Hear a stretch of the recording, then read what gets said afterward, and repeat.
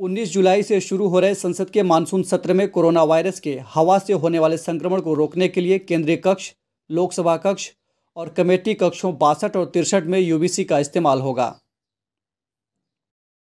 सूरज की रोशनी में तीन तरह की अल्ट्रावायलेट किरणें मौजूद होती हैं। पहली है यूवीए यानी अल्ट्रावायलेट ए दूसरी है यू बी यानी अल्ट्रावायलेट बी और तीसरा है यूवीसी यानी अल्ट्रावायलेट सी रेडिएशंस यूवीसी में ज़्यादा ऊर्जा होती है, ये ज़िंदा कोशिकाओं के डीएनए या आरएनए को नष्ट करने में बहुत कारगर होती हैं। फिर चाहे वो इंसानों की कोशिकाएँ हों या वायरस की। हालाँकि हम इंसान इससे बच जाते हैं क्योंकि धरती के ऊपर मौजूद ओजोन की परत इन किरणों को रोक देती है।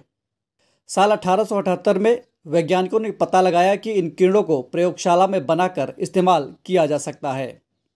इस तरह आज अस्पतालों, हवाई जहाज़ों दफ्तरों और कारखानों में लगभग रोज़ाना इन किरणों का प्रयोग कीटनाशक के तौर पर होता है।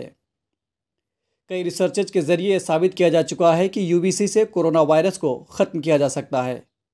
इस लाइट से उन सभी कीटाणुओं को ख़त्म किया जा सकता है जो आमतौर पर केमिकल के इस्तेमाल से बच निकलते हैं। इतना ही नहीं, कुछ परिस्थितियों में ये रेडिएशन कोरोना वायरस के बाहरी प्रोटीन कोटिंग को भी ख़त्म करने में प्रभावी है। हालाँकि इस रेडिएशन के इस्तेमाल के कुछ साइड इफ़ेक्ट्स भी हैं। मसलन इसका इंसानों के शरीर पर गलत प्रभाव पड़ता है।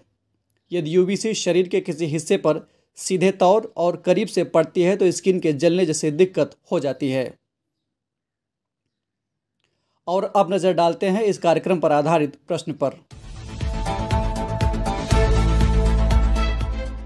यूवीसी लाइट की वेवलेंथ कितनी है? आपके ऑप्शंस हैं ए दस नैनोमीटर से चार सौ नैनोमीटर, बी एक हज़ार नैनोमीटर से चार हज़ार नैनोमीटर, सी दस हज़ार नैनोमीटर से चालीस हज़ार नैनोमीटर अथवा डी इनमें से कोई नहीं।